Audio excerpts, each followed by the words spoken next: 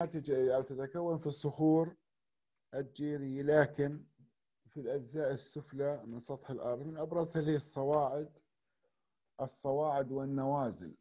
لاحظ هاي الصواعد والنوازل هاي الصور كلها. هي طبعا تتكون عادة في أسفل سطح الأرض وعادة في المغر. طبعا كل المغارة بالأصل هاي الموجودة قدامكم تعرضت للتجوية في الداخل أو صخور تجارية تعرضت للإذابة. الآن شو سبب تكون هاي الصواعد أو النوازل؟ إنه هاي الصخور الجيرية فيها إيش؟ فيها مسامية أو آسف نفادية عالية فتسمح بمرور المياه. تتفاعل طبعا المياه الموجودة في الصخور بشكل عام تتفاعل اللي هي بسموها عمليات الكربنة.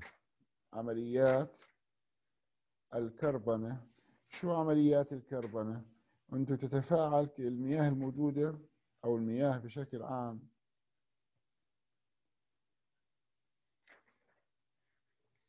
مع الكربونات الموجودة في المياه مع مكونات الصخور.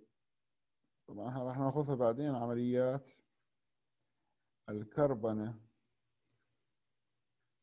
اللي هي عملية اتحاد أيونات الكربونات أو البايكربونات مع المعادن الموجودة في الصخر فتصبح على شكل صواعد ونوازل.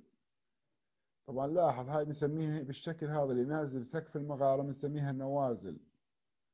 اللي بتكون في قاع المغارة بنسميها إيش؟ نسميها صواعد.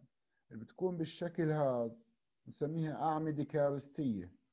يعني بيكون الصواعد طبعا المادة وصلت لسطح الأرض بالشكل هذا ثم اتصلت مع المواد المذابة القادمة من وين؟ من أعلى المغارة. هاي نسميها أعمدة كارستية. أي نوازل صواعد أعمدة كارستية بكون على شكل عمود كامل. واللي تحت هذول هون بنسميها حلزونات كارستية. حلزونيات كارستية.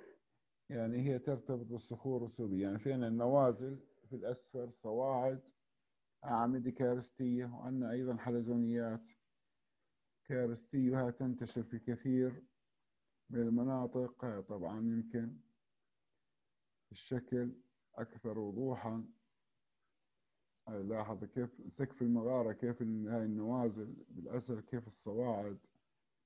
هاي نسميهم حلزونيات كارستية بتكون على شكل هاي لاحظ الأعمدة الكارستية كيف شكلها.